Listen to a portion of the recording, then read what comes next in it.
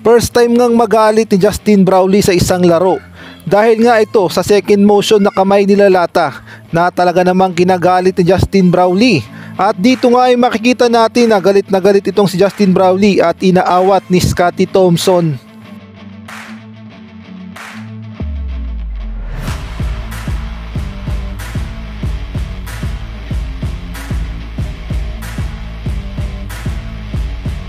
First quarter nga ay kontrolado ng Barangay Hinebra ang laro at napakaganda nga ng kanilang transisyon at napakaganda ng kanilang pasahan at nahihirapan nga dito ang Phoenix Fuel Master na sumabay sa Barangay Hinebra.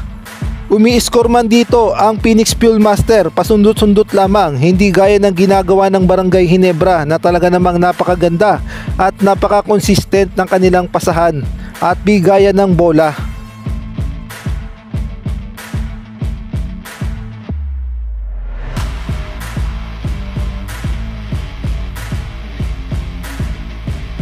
Pagpasok nga ng second quarter, dito na nga sumasabay ang Phoenix Fuel Master sa Barangay Hinebra.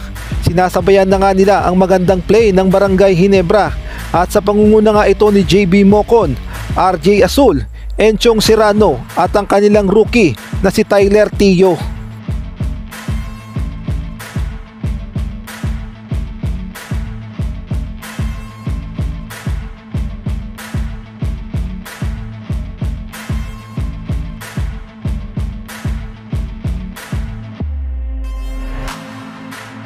Pagpasok naman ng third quarter, sumasabay pa nga dito ang Barangay Hinebra at umahabol pa sa run ng Phoenix Fuel Master.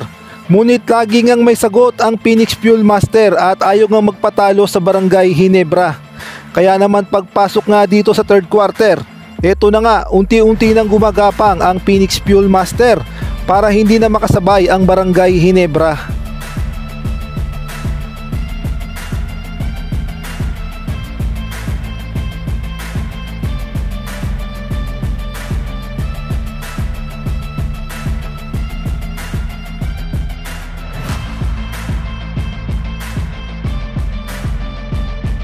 Wala na ngang magawa dito ang Barangay Hinebra sa Phoenix Fuel Master at nakuha na nga nila ang magandang redeem at hindi na nga makasabay ang Barangay Hinebra sa ganda ng pinapakita ng Phoenix.